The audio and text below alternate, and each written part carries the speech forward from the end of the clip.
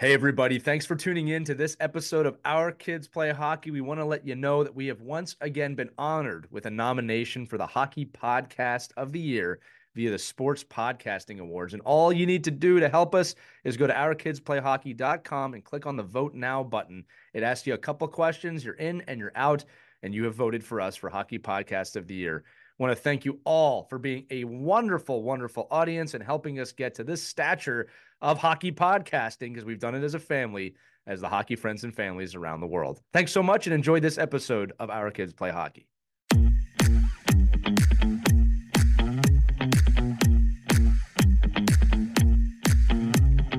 Hello, hockey friends and families around the world, and welcome to another episode of Our Kids Play Hockey. I'm Lee Elias, and I'm joined as always by Christy Casciano Burns and Mike Benelli. And I'm pleased to welcome to the show today Joe Eppolito. For the last 27 years, Joe has worn many hats at the state level as well as nationally with USA Hockey. He's been involved in hockey as a longtime high school coach, New York State Amateur Hockey Association board member, USA Hockey District Director, National Tournament Committee member, an official, and a hockey parent above all. A former teacher, Joe has a tremendous resource for New York State, and he's been helping to build and relay coaching development curriculums for thousands of coaches in his role with USA Hockey's coaching education program. Due to the pandemic, the CEP, which is the coaching education program, clinics shifted from uh, in person to virtual classrooms, and Eppolito played an integral role in making those successful in New York State. Joe is also a big advocate of growing girls and women's hockey. He has been a New York State Amateur Hockey Association girls and women's section coordinator since the year 2000 and is also uh, running the girls' side of their player development committee. He was recently named the 2021 Walter Yaciuk Award winner for all of his tireless volunteer work on and off the ice. And we are privileged to have him with us here today. Joe, welcome to Our Kids Play Hockey. Thanks for being here today. Thanks, Lee. It's a pleasure. I'm looking forward to our conversation today. I am too. I'm hoping the listeners are too. So, Joe, the first question I have for you, it's kind of an obvious one, but uh, you know, we talk on this program all the time. Coaching and teaching go hand in hand. You know, coaching is teaching. So, as a former teacher yourself, how did that background help you become a better coach to coaches in delivering the coaching education curriculum uh, through USA Hockey? Well, that's, that's a great question, Lee. And, and to be honest with you, so when I first got involved with USA Hockey, I was asked a long, long time ago as a high school coach, and I was asked by our local USA Hockey organization to attend a clinic, a coaching clinic around something called the initiation program. And the initiation program was basically a, a program that was stolen by USA Hockey uh, from Hockey Canada. And its focus was on growth and development, especially at the younger, younger levels, looking at things like small area games and things along those lines. So I went to this clinic and and I was kind of a cocky high school coach and thinking, oh, I'm not going to learn a thing, you know, by going to this clinic. And when I got there and, and realized that this program was so kid focused and so uh, learning centric and, and making the game be the teacher, I was completely blown away by it. And, and from that point, completely converted to that kind of philosophy in, in, in terms of growth and development for players wide, wide opening. It was just a, a, phenomenal experience to be able to expose to be exposed to that kind of programming. And, and as an educator, you fall in love with it. Uh, it's it's very systematic. And, and the thing that I also liked about it is that, that it would give people that basically don't have a, uh, any kind of degree in education uh, the tools needed to be able to actually be good coaches and help kids develop. So for me, that was integral part of uh, a part of it and, and and I've been a strong believer of that ever since and and it's one of the most things one of the things that I cherish the most most about being involved in hockey is coaching education. You know, if I may uh, pull a thread on something you just said, especially for the younger coaches out there, you alluded to this uh, that you had gone to that meeting with the kind of that attitude of oh, I might not get anything out of this, right? um, I think it's an important thing to bring up because so many times in my life, especially especially when I was younger, I, I would go with that attitude. I almost always end up learning something. And as I got older and, and more experienced in coaching, started looking forward to those types of events because you, you really never know what you're going to get out of them. You know, I've said this quote before, and you embody this, Joe. Um, you know that that good coaches think they know everything, but great coaches no, they don't know anything at all, right? You can always be learning, right? So I, I just wanted yeah. to bring that up, not not to focus on the fact that you did that, but that you you went beyond that, right? And I think that's just an important tip for all coaches, really all educators, right? That you, the, the learning never stops for for people in that role. Yeah, so I recently just attended some some training in Detroit, and um, basically it's becoming what's called a, a mentor coach developer. So basically, it's training the guys who train coaches. So we got an opportunity to be involved in that. And one of the themes of that was being a lifelong learner. So as coaches, as players, uh, you know, we want to be able to learn from the sport. Right. We want to be able to learn from our colleagues. You know, in, in any way that we can make the game better and make our kids better and our coaches better, you know, we need to um, uh, embrace that and, and embody that and, and live by that uh, mantra. And it was really kind of the focus of our training, and uh, it's something to live by. It's it's it's it's a way to make the game more enjoyable for all involved. I agree with you. That is so important because I think there there is a contingent out there who uh, are know-it-alls, and at some point they stop learning because they think they know it all, and that's a huge mistake, especially when you're trying to develop kids. Yeah, you know, another aspect is you know the game is changing our game has completely changed. It's not the way that it used to be. So, you know, if we aren't, if we don't continue to be lifelong learners, we don't become better as coaches. And, and, you know, all you got to do is watch the NHL, watch the playoffs, watch college hockey, watch girls and women's hockey at the highest level. And, and you know that the game is, is evolving and changing. Um, most recently, like uh, this weekend, we had the USA Hockey Annual Congress and, and uh, every few years, there are changes this year uh, was a playing rules change year and a couple of huge uh, rule changes that will go into effect uh, this year have to do with uh, icing uh, when you're a man down and also the tag up offsides rules. So those rules have been drastically changed. So this is going to be another change to the game. And as coaches, uh, as, as developers of the game, you know, we have to embrace that and and and use those rule changes to kind of help retool and reteach the game. So it's another aspect that I'm looking forward to get involved in and, and trying to think about how I'm going to change my coaching habits and my style, um, you know, to adapt and, and, and go with the changes in the game that are, you know, are, are there all the time now. Yeah, I think I think when when you talk about um, you know those changes and those lifelong learner opportunities, I mean one of the things I've been fortunate enough to be you know on a lot of Joe's calls this last this past year with the pandemic uh, CEP program being completely online and virtual. Uh, one of the I think one of the the bonuses for me was that when you're when you're at a when you're at an on-site uh, CEP clinic, often like a guy like Joe Eppolito will go up and speak, and you'll go out into the hallway and and you'll do your own thing and kind of get ready for your maybe what you're going to speak on next. And the great thing about this is we're all in the same room and we get to, you know, me as a coach developer gets to learn from all the other coach developers and just hearing those little ways about, you know, how a guy like Joe and uh, Joe, how, how you taught and how you speak and how you articulate the program is maybe different from me and different from other folks. So I thought that was a great resource for me to sit on on those programs because it's just even the terminology of things you use that I wouldn't think about, you know, maybe using with certain coaches. That so that was great, and I think that was a real bonus of you know, and, and we see that all the time. I think Joe and Joe knows this from being at all the level fives and fours, the pro coaches and the college coaches, the best coaches in the world that come and speak at these conferences. They sit in on the whole conference. Right. I mean, they sit there and they take notes in the back of the room. I mean, we were up in Lake Placid couple of years ago, and Bill Beaney's back there taking more notes than any other single person in the room and he's probably one of the most accomplished coaches, you know, in the world at the college level. And I think to see that, uh, you know, is really refreshing, you know, for the know-it-all guys. Yeah. The other thing I really enjoyed about the virtual clinics is that so in the past when we would do coaching clinics, you would have pockets of coaches that would come from local organizations that aren't that far away. Where the virtual clinics, we had 40 people that would attend the clinics, but there would be coaches from California in the same clinic with coaches from Florida or New York or Texas. So the way that hockey's being taught, not only in New York State, but across the country, you know, we had to share some experiences and get this and got to see that, you know, there are a lot of things that are similar. There are a lot of things that are different, but it was just a different kind of a nationwide perspective. And that's, I think, one of the strengths of, of this virtual clinic opportunity uh, is to be able to share your hockey story and your hockey experiences and your hockey expertise, I want to say, with people from across the country. You know, right. Joe, I'll jump into that too. You know, I do a lot of work in team building. It's one of my professional ventures, if you will. And you know, one of the things we talk about with uh, strategic alignment is a shared consciousness, right, and ex- expert communication. And one of the things I think over the last year we've realized is that, as you just said, we can be in a room like this together nationally now. There's no, there's no, you don't have to just travel and just sit with the coaches in your region. And when I say shared consciousness and that information sharing, that communications forum, the amount of information that you can share now and the ability to do it, I think this is something that's uh, almost underestimated through time.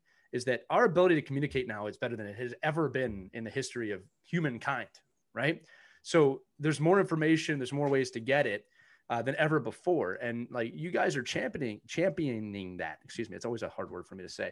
You know, another thing I wanted to say about about evolving coaches. We, have been saying the know-it-all. So if you're listening to this show, by the way, you're probably not a know-it-all because you're listening to this show. But one of the things I, I like to say is that you know coaches change, but so do kids, and I think that's something that we don't talk about enough, right? So you know, as coaches, we get older, we get more mature, maybe right? We learn, but you know, an 18 year old today is not an 18 year old from the 90s, is not an 18 year old from the 80s. You know, I remember um, when I was a young high school player, I had an old school coach, right? Grew up in the 60s and the 70s. He was a screamer, a good guy, but very old school approach. I, I could tell that, right? And, and you can tell he was raised by a World War II guy. Like you could just tell, right? I mean, I have nothing but the utmo- utmost respect for those people. Um, but I could also tell when I was 18 that his style was not resonating with a lot of the players, right? Uh, fast forward another 18 years, and if he would never be able to coach a, a group of 18 year olds today, just they kids have changed, the game has changed, coaching has changed. So I think the ability to be fluid like that, and Mike, as you say, continue to always take notes, is a really important uh, thing for success. Never stop learning. You know, I, I, think HBO did it. There was a great documentary on HBO where Bill Belichick and Nick Saban they get together every year right? These are the two greatest coaches in the history of football, and they still get together every year to learn from each other. Now, I, I imagine there's not many other coaches that they can get together that understand each other, right? But it just it, it never stops. The learning never stops, right? And that's that's just a point I want to make, and obviously would love your thoughts on that as well. That the, that the adults change, but the kids change too, and that's important to note. Yeah, it's it's it's such an evolving thing, and, and it's a focus in education across the board. I know that USA Hockey is very involved, deeply involved in trying to find ways to, to spread its message in a different way. You know, with the understand, and, and they've done actually some market research to determine, you know, how can we best take these this multitude, this mountain of resources that we have available. Let's face it, as a coach, you can go you can go to any website and get a million different lesson plans to be able to teach but you know how do we get this information? How do we get these resources? How do we get them out to our to our membership? And they're exploring a ton of different digital uh, avenues to be able to do that. Right. And and and it and and, and they just recognize that you know kids today are are very connected to their phones connected to the digital world. And as leaders in hockey we need to be able to find ways to to tap into that and to be able to to, to shoot our messages in different ways than we have in the past. Unlike the screamer that you talked about, right. you know, we've all had those kind of coaches, and, and and that's another part of the evolution of the game and the evolution of the coaching aspect of it is to be able to adapt. I mean, we have the coaching mobile app now. So right. if you if you are a coach and want, and want to go on the ice and, and, and you need to bring your practice plan before people would have it on a bar napkin, right. and now they have, have it on their uh, they actually have it on their cell phone to be able to bring it out there. You know, right. so it's uh, it's and, and it's something that people and, and and I'll be honest with you, there are coaches that are a little reluctant to get involved in that because they just aren't technologically savvy. But the ones that are truly into it and really want to make things grow are finding ways to adapt their coaching styles, and they're finding ways to integrate uh, technology all across the board. It's evolving and it's going to be just like the game is. Yeah, I, will say this to follow up on that. Um, number one, it, let's just say you're not a tech savvy coach. Just some advice for our audience. You know, um, instead of being embarrassed about it and shunning it away, fill that gap. Bring in a coach that is technologically savvy to help you. There's nothing wrong with that. Sometimes I feel like coaches are threatened by the technology if they can't use it. Trust me, one of the parents can use it. Somebody, I know there's politics to play into this, obviously, but part of being a great coaching staff is having an assistant coach or coaches that fill in the gaps that you don't have, right? Um, Joe, I'm also glad you bring up evolution. That's going to bring us to the next question. Um, you know, I remember in 2010, so I started coaching college hockey in about 2007. So I was very involved in everything that was going on. And in 2010, I'll never forget this. There was an article in USA Hockey Magazine that introduced the new ADM, the, the American Development Model, and it was going to change everything And there's a lot of questions about what's going to happen with this. Well, let's just put it this way you're starting to see the first athletes in the NHL now that grew up entirely in that program. So if that came around in 2010, uh, again, not, not so much just Connor McDavid, but Auston Matthews, you're starting to see a lot of players that grew up within that development model. And not only are they good, they're some of the best players in the game. So you have seen that transition of the game over your time in the game from I'll call it the Neanderthal era that I played in, where you know you wanted to be 6'5, 250 pounds, Eric Lindros, you wanted to break someone in half, to the era today where it's streamlined, it's speed, it's fast, right? You don't have to be a Hulk to play hockey. Um, tell me, as someone who's been around the game, right? How have you seen the program evolve? What are some of the aspects of the curriculum that you think make the most influence on coaches? And just tell us about your experience in the game over the last 27 years. Yeah, so I, I can tell you that uh, when the ADM first came out, everybody thought that it was focused primarily on just eight and under hockey. Right. And they didn't really understand that it's a, a true long-term athlete development model. And that's kind of the, that's kind of the difference. And and it's research-based, it's science-based. It's to the point where um, the program has taken on such a such a big meaning and, and has become an integral part of the USA Hockey DNA to the tune of, of the NHL supporting um, USA Hockey. You know, the, the, the NHL gives USA Hockey over $9 million a year to be able to supplement and, and support those programs because it's the right way to do things. And it wasn't just pulled out of the sky. It wasn't just right. pulled out of the rabbit's hat. You know, it was a, it was, it was basically research based and, and it didn't take like a couple months to put together. This is, you know, a program that was really well thought out and, and, you know, to the point where the NHL listened to the research and said, you know what, that's going to do wonders for hockey in the United States of America. So let's let's follow this model. And the model itself is is evolving. It's it, it's it's maturing, and and and it's becoming more uh, more an integral part of what we do. Uh, you know, the cross ice aspects of that are huge. You know, you if you go to any, an NHL practice or even a high level college practice, uh, a good majority of what they do is station based and and, right. and small area games, cross ice types of stuff. So the game has changed so much, and and it, as a result, the skill level in our players is becoming absolutely phenomenal. You know, and and and and it's just doing wonders in all aspects of the game. One of the other things that's starting to evolve more now, and is also becoming a focus uh, within USA Hockey, is goaltending. You know, goaltending is probably the most important position on any hockey team, and yet there's been you know, not so much an emphasis or a priority uh, placed on that position. So I think that's beginning to change. USA Hockey now has, you know, goaltending clinics that are given specifically for that position. Uh, and and that position is evolving uh, nationally as well. They, they have goaltending curriculums now that are instituted. They have gold, uh, silver, and bronze coaching clinics that coaches can receive just to specifically teach goaltending. So that's a major part of what's going on now as well. Um, and the, the, curriculum within the coaching education program, which is uh, fostered and developed primarily by the ADM regional managers across the country, is, is really evolving and changing. Just this year alone, uh, we're going to introduce and roll out some other curriculums to help the coaches uh, in our program, but um, it's it's continuing to change and, and, and looking forward to it. But the ADM is, is the foundation of where we're going, and it's slowly becoming um, you know, the DNA in what we do.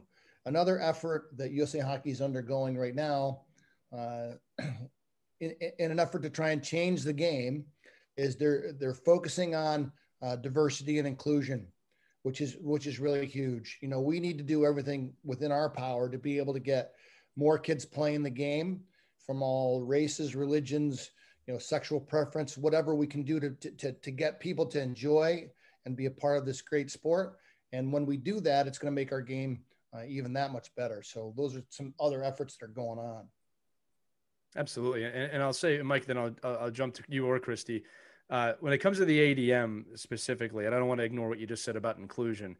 Uh, if you look at how many World Junior Championships the USA has won since 2010, and that's not negating the championship before it, uh, and our international competition, the amount of American players that have entered uh, high levels of hockey or the NHL, the, the, the, results are undeniable how impactful the ADM has been.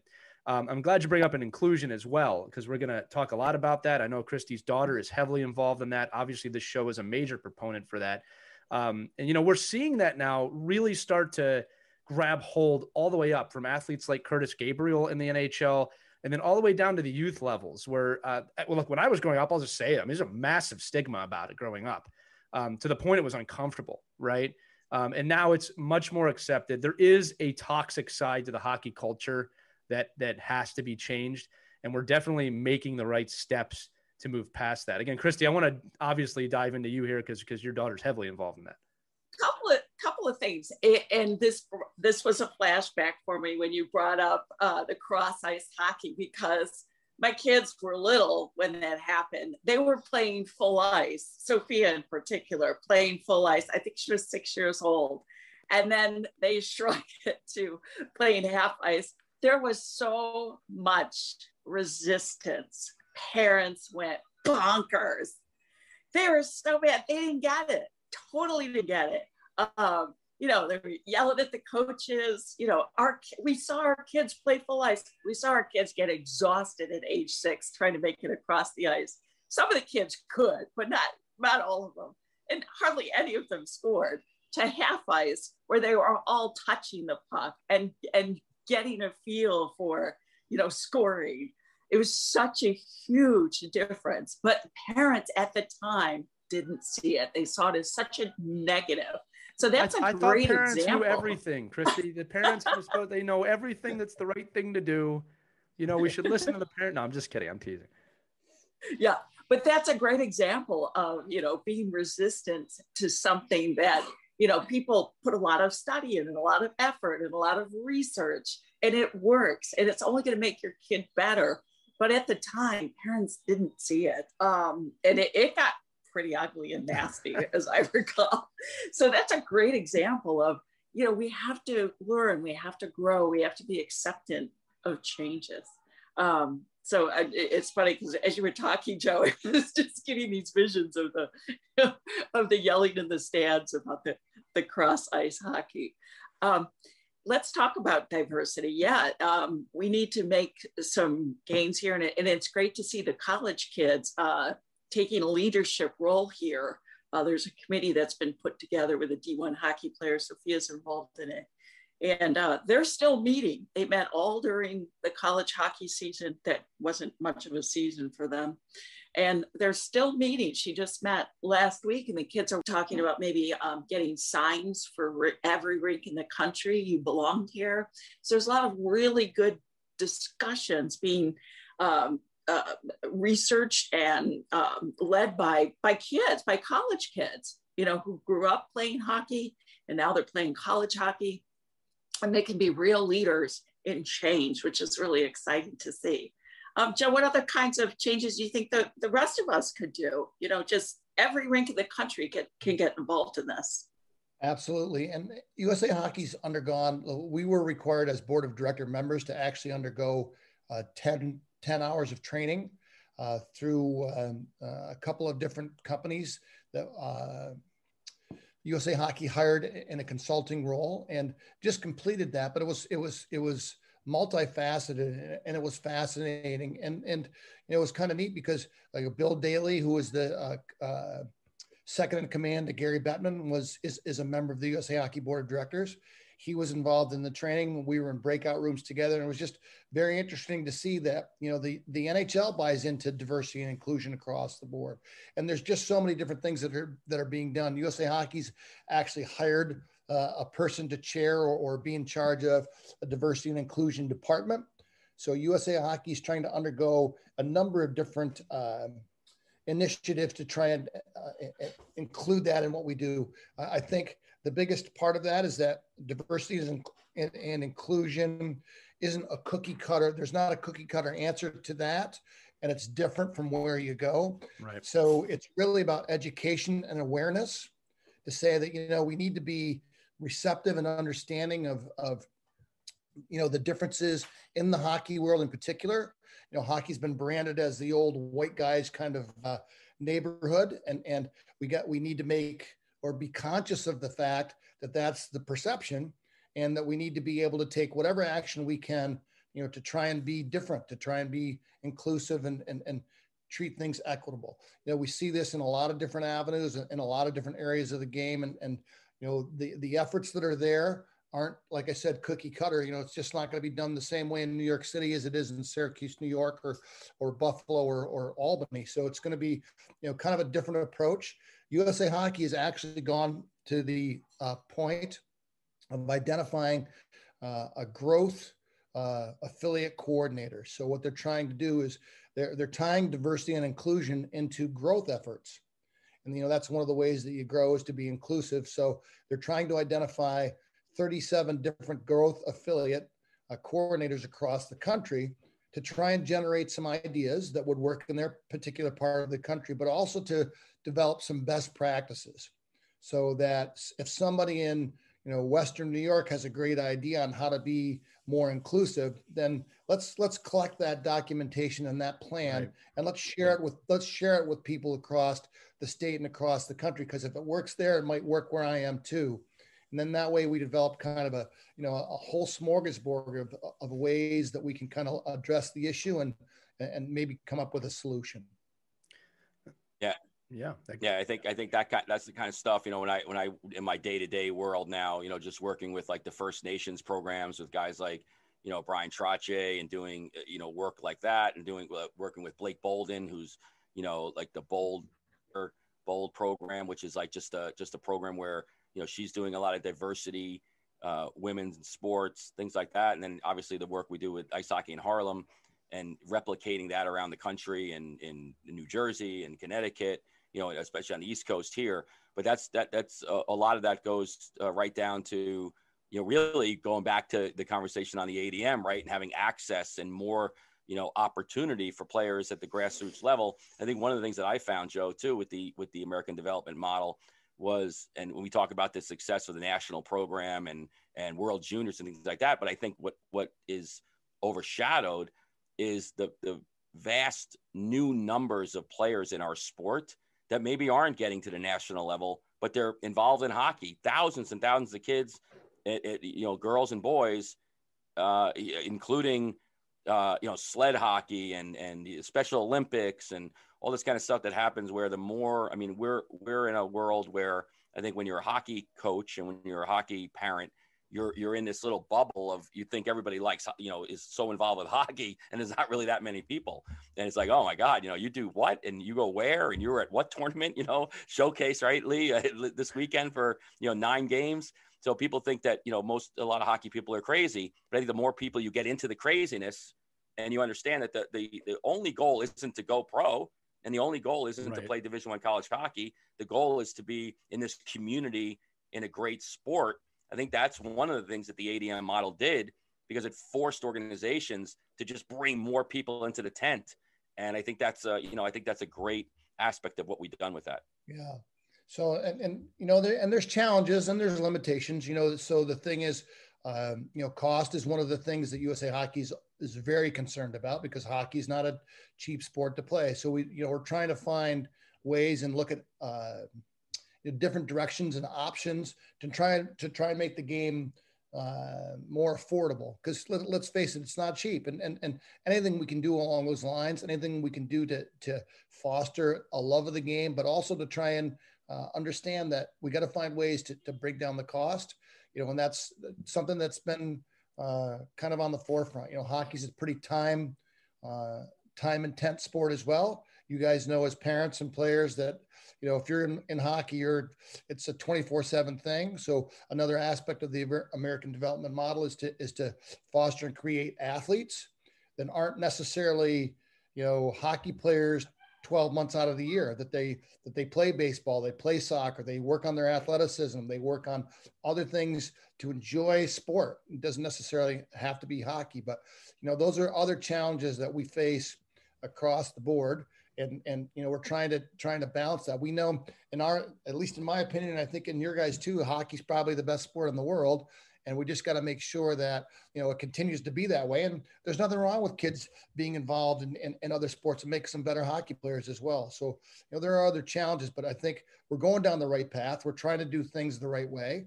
Uh, we're trying to do uh, a number of different initiatives to make it better. And that's kind of the road we're walking. Yeah, you know, I'll, I'll come in here and say this. You know, my son uh, just finished Adams and he's going into Mites next year. Uh, and it was just pretty clear to me he needed a little bit of a break, especially after last season. It was a little bit of a unique season. We had a lot, lot more practices than games, or I should say, we had less games than we would normally have in a in a normal year. Uh, and he and he told me towards the end of the season that he likes it, but you know he's a little bored because we're doing something similar every time. So we're taking the summer off. He's going to do karate. He's going to do some other sports. I told his coach next year, and and correctly, coach had no issue with it. He goes, "Yeah, that's great, man. You know, diversify, get out there, try some other things." He's seven. I always come back to that. He's seven, right?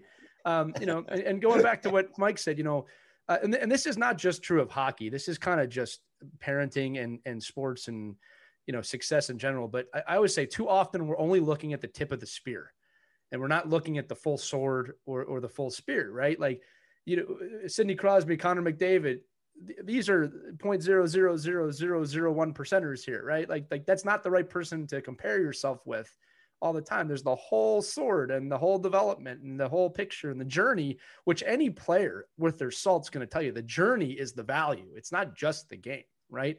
Um, I want to switch here a little bit, Joe. I, I got to ask you about this. One of my favorite stories over the last month um, was the first female player being drafted into the OHL ever. Right? You had a, a young goaltender drafted into major junior hockey. Uh, it was a major story. Again, never happened before.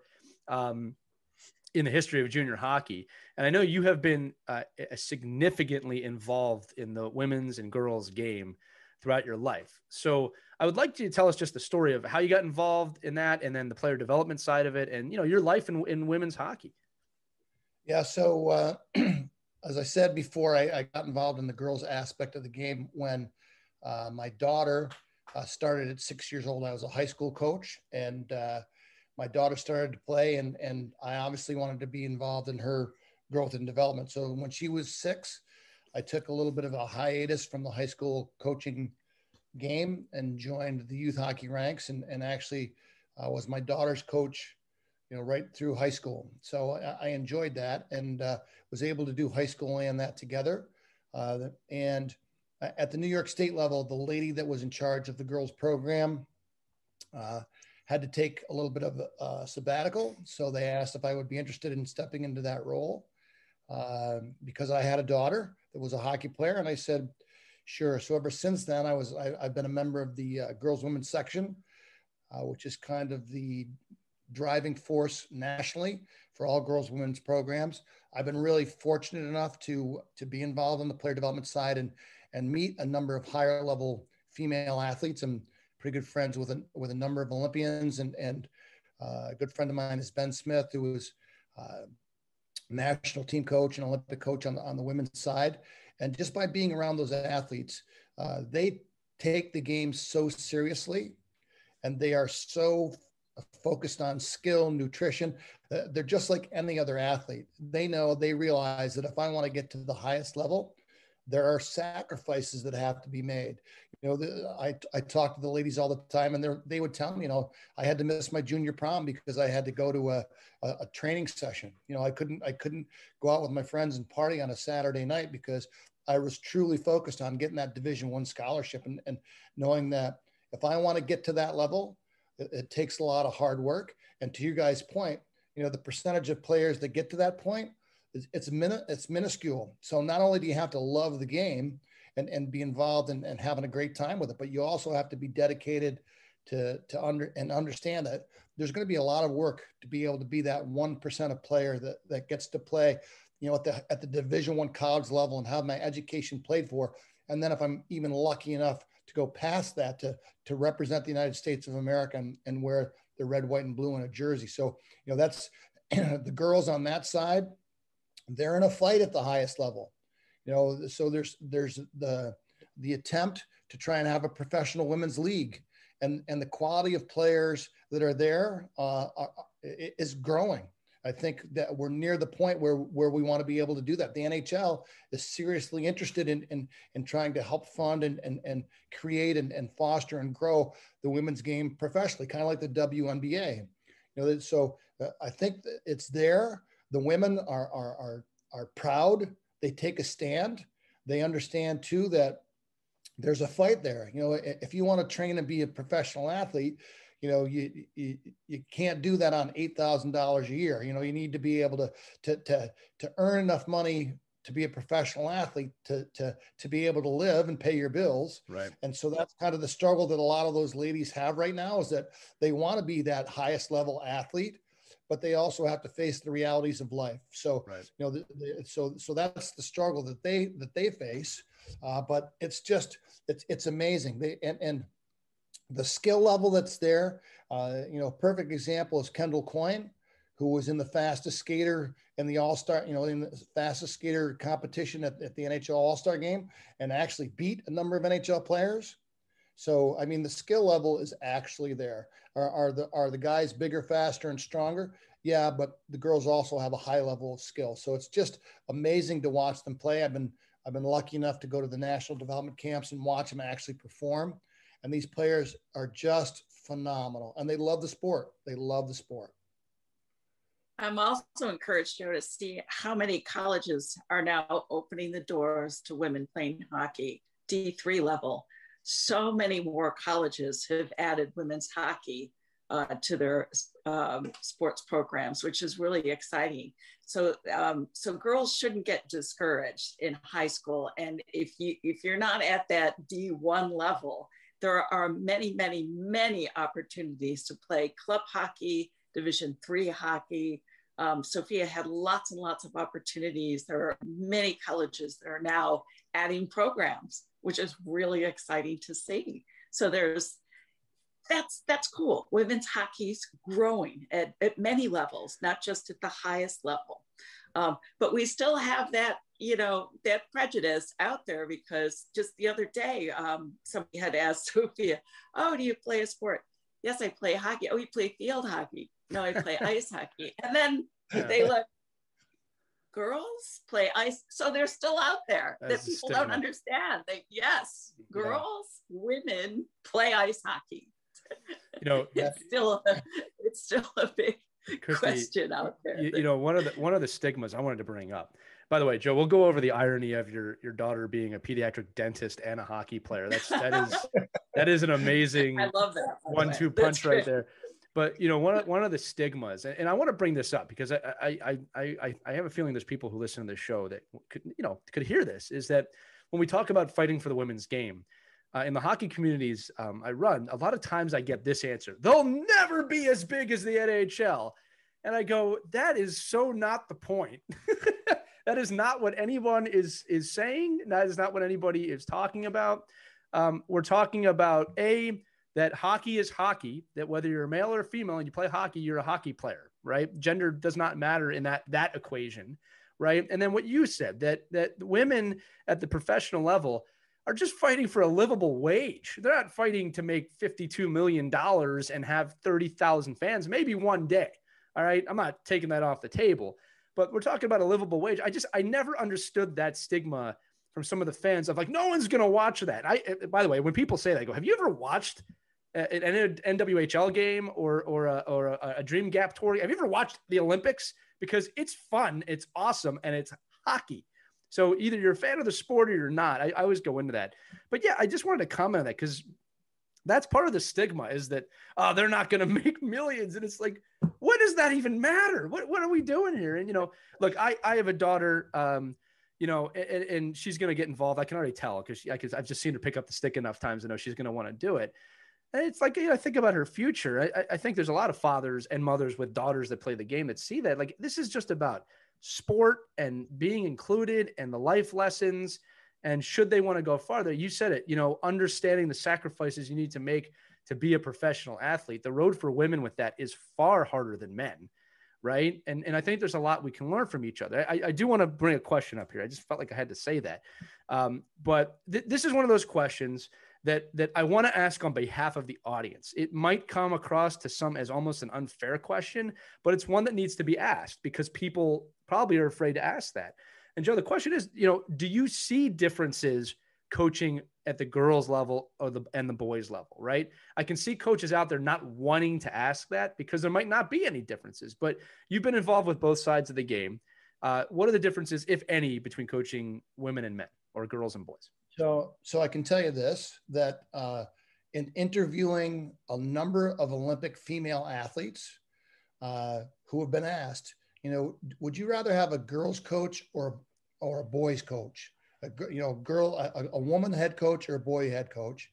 The female athlete says, "I just want the best coach." There you go. I don't care. I don't. I don't care if I don't care if it's a female. I don't care if the if the guy coaching me is a man or a woman. I just want the best coach. And and there there certainly are differences. Um, the, the primary difference that uh, is noticeable is that girls tend to be more uh, sponges, especially at the younger ages. They want to learn. They want to listen. They want to uh, and that's also part of the the um, physical, social, and, and, mental development of girls at a younger age. They mature sooner, so they're, they're more attuned into the learning process. They want to soak up and, and, and be involved in the learning part of it, uh, where boys kind of take it a little bit for granted. Uh, so that's one of the big differences, you know. But but you got to think about um, girls have always had the had the opportunity. Another thing that they talk about is uh, that growing up, they wanted to play with people of the same skill because they wanted to get better. So it didn't really matter if they were on a boys team or a girls team. They just wanted to be playing against players of either gender that were of the same competitive level. So they don't want to go and be the dominant. They want to be with players that are the same skill so that they can get better and that they can, uh, you know, work cooperatively as a team. You know, girls have under have undergone a lot of kind of biases. If you think about it, growing up, uh, my daughter would have to get dressed in a in a in a bathroom or in you know in a in a, in a broom closet uh, before she could join the team. So that was you know that was certainly a, an issue there. And, and you know there's other issues that that that girls are it's kind of uncomfortable as a, as a male because you know that you go into the locker room and they wear sports bras and and and this kind of stuff and they and they have no fear about being you know exposed like that and yet you're a male and you're feeling uncomfortable so there's establishing guidelines and rules and regulations so you know the the, the players just want to be treated as players that's all they want and they want to be in a situation that's competitive and they want a situation that's equitable so they don't want to have to be in a different locker room. They want to be in the locker room getting dressed with their team. They want to be uh, playing with players that are the same level that they're at, or maybe a little bit better. So, so the, women, their attitude is is you know it's not really. Uh, they're, they're hockey players are hockey players, be right. it they female or male, and, and and there really isn't a lot of difference. Uh, but there is kind of just in the attitude and the culture that surrounds that whole that whole situation. So it's not such a difference in players uh, and, and the way that they learn. It's, it's, it's more about the culture and, and the perceptions that, you know, th- that kind of wall that we're trying to break down a little bit. I love it. You know, when I played, I remember when I was a first, no, second year Bantam, uh, we had a, we had a, a girl on the team and she was one of the best players on the team. And, uh, you know, maybe I benefited from always uh, being surrounded by strong women my whole life. My mother is an incredibly strong woman, uh, both, you know, as a person uh, you know, Vicky, the girl on the team, was really good. I looked up to her. Uh, my wife is an incredibly strong person that I love. She's only, I just joke, she's only five two or whatever, but I look up to her. You know what I mean? Uh, and I, you know, that's that's part of breaking the stigma. Is just I grew up in a in a in an environment where there was no difference between women and men. They we were just there. You know what I mean? But you know, I think one of the things I've learned from coaching um, is that sometimes you got to take it out of your own experience, like you just said how often as coaches do you think about the girl who's getting dressed in the bathroom and what that must be like for her? Sometimes we just don't think about it because it's not our experience. It's not a fault of anyone. But can you open your mind up of what does that person have to go through to to be part of the team? And obviously this is not limited to just hockey. You know uh, again my wife is a physician. Watching her become a doctor go through the military to become a doctor and then negotiate for jobs it's a totally different experience than it, it would be for me I, I mean, I'll never be a doctor, right? Been playing hockey too many years. But my point is that, you know, watching someone else go through an experience can teach you a lot about a how to coach them how to mentor them or how you can be mentored by them right? Um, mike i want to throw it to you too. Again i'm going to switch it up. And, and, joe you, you've been a phenomenal guest so far just invaluable information. Uh, we did say that you, you won the Yaciuk award. Now in in in, in stark contrast and instead of having you talk about yourself and that award, which would just not be good, right? Because as, as we spoke before the show, Joe, and you said totally, totally correctly that you know you didn't expect to win that. That's typically how people win those awards, right? I'm going to throw all the pressure on Mike Benelli because because because he threw this episode on me last minute, which was the best thing he could have done. And and and you know he and I buddy around, and Christy and I really like to put the pressure on Mike. You can see he's turning a shade of red now for those of you listening. But now, Mike, seriously, I wanted you to just talk about Joe and and, and you know he won this a pretty prestigious award. Uh, I just want you to you know geek out on him for a minute because I know you look up to him. You're really excited to have him on the show today, and you know let us know how you think about it. Yeah, well, so it's easy because Joe Joe embodies. I mean, honestly, what Joe embodies, what the the, the coaching education program is about. I mean, for and you know, I, I think what he brings too. You know, I, I love the fact that you know you can learn a lot about how you teach, and you know, being in workshops with Joe, and and and obviously watching him online this past year, and and you know, we don't get to see you know to Joe's point about even the coaching education program about you know the, the coaches getting to be in different rooms with Californians and Floridans and and, uh, and Floridians and guys from Iowa and girls from Alaska. You know, we as as coach educators get to we even in New York State, we're such a large district that we often don't get to be in the same room together when we do our programming. So I think what Joe's done, you know, from that point of view, from a you know listening from all of us listening to him on how he speaks to the coaches and and, and things that he can give us to help us teach has been invaluable. And I think the, the award is definitely, I mean, you look at all the coaches and the coach educators and the coach developers around the country. I, I think, you know, I think even one of the one of the uh, descriptions was, you know, the the, the long time, you know, uh, you know, it's not a, it's not a longevity award. I, I think it's a it's an award, you know, f- for me, the way I look at it is based off of what he's done in his body of work he's done for the coaching education program. Uh, he's got a great personality for it. I think you do, you know, even off off the coaching education part, you know, he brings a nice light, um, you know, feeling to the room where it doesn't have this doesn't have to be, you know, an assignment that you have to do. Now you don't have to coach. Uh, you don't have to help be a coach developer. You have to make it fun. You have to make an environment that's inviting. And and at the end of the day, I think one of the things that he's always done, and I've always liked listening to him, you know, privately and in the coaching program side of things is that you know we're here to help coaches facilitate being better coaches for the kids that we that Joe's eventually going to meet again, right? And the women's side, the more work he's done with the coaching education program to develop all you know more girls and women in sport is going to end up helping him later on in the day because all he's going to see all those 14, 15, 16 year old girls. Uh, and and he's done. If you look at the numbers, uh, it's been a tremendous job of what he's done on moving girls from the New York State program up to the national rank. So, you know, congratulations again, Joe. And I think, uh, you know, I think anybody in the in the coaching education program and the player development side, you know, can learn a lot from just listening to you and, and, and certainly being around you for sure. Yeah, thanks, Mike. I appreciate that, and and I told Lee earlier and, you guys earlier. It's it's it's it was an honor and and uh, kind of the kind of a shocking thing. I was a little embarrassed, but uh, those are things that because because let's face it, none of us involved in this uh, little show today do what we do uh, for the money. You know, we're not going to become millionaires doing what we do, so we do it for the love of the sport and for the kids, and and that's you know that's why I was it was humbling and and uh, I was grateful to to be recognized in that way. So, Joe, to round this episode out, you're you're approaching uh, sorry to date you here, your fourth decade of volunteer service within this game. Um, so like, again, we said 27 years of volunteer, which is incredible. That, that, that is, that is a testament to you alone. Um, I'd be remiss if I didn't ask, right. You've seen the past of the game. Where do you see the game going? We've talked a lot about obviously inclusion and diversity today and development, but you know, over the next 30 years, where do you hope the game will be? What do you see as the kind of bright beacon at the top of the hill for hockey? So uh, the ultimate goal and the ultimate measure of how well we do in New York State and how well we do in USA Hockey uh, is kind of looked at at the at the on the girls' side at the Olympic level and at the guys' side in the NHL. So you know one of the goals of USA Hockey is is, is to have a much higher uh, percentage of Americans playing at that level, and for for women.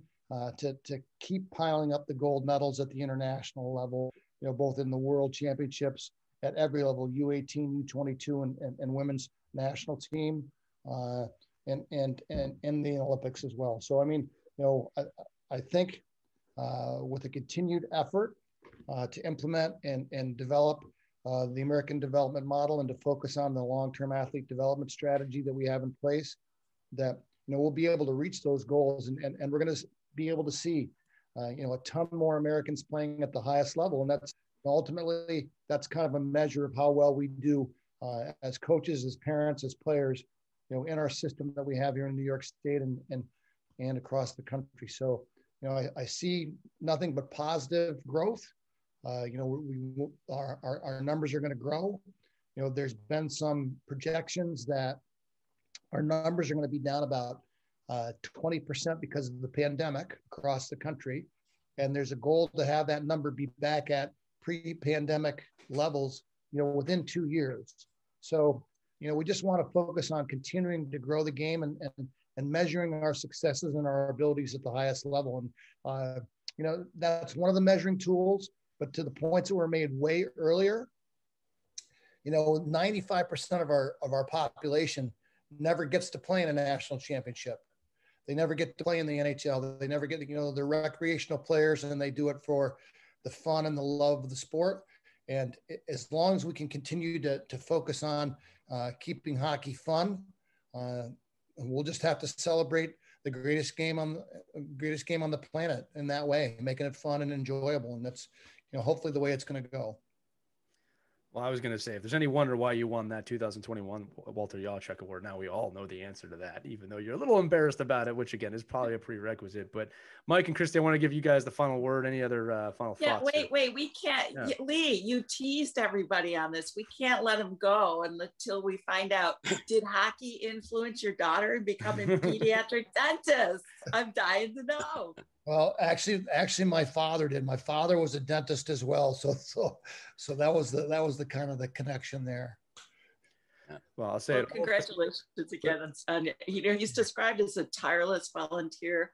Boy, we sure need more Joe Eppolitos in this game of hockey. Um, so thank you for being such an inspiration and for sharing your knowledge. I learned so much, and it's exciting to look at the future especially the way that you paint it. It's, it's a great picture that you painted for the future of hockey. Thank you, Joe.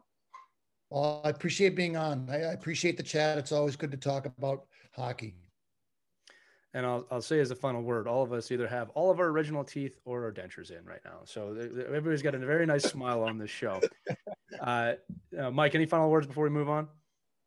No, I think it's great. I, I, Joe, really appreciate you being on and and and uh, you know fitting us in. And I think it's uh, you know we're we're gonna look forward to watching you know the evolution of uh, USA Hockey and your involvement. And I think just uh, you know the good things that are going to come over the summer and into next year. And I think everybody could be excited about that. And uh, knowing that we got through a uh, a tough year, ready to rebound and and start having some fun again. So that's going to do it for this episode of Our Kids Play Hockey. Joe Eppolito, you've been a fantastic guest. Again, sometimes the last minute ones really are the best ones, and I appreciate that uh, for you being here today. Uh, for Christy Casciano Burns and Mike Benelli, I'm Lee Elias. Again, you've been listening to Our Kids Play Hockey. Check us out on ourkidsplayhockey.com. You can listen or watch this podcast literally wherever podcasts are available. We're everywhere. Uh, thanks so much for listening, and we will see you on the next edition of Our Kids Play Hockey. Have a great day, everybody.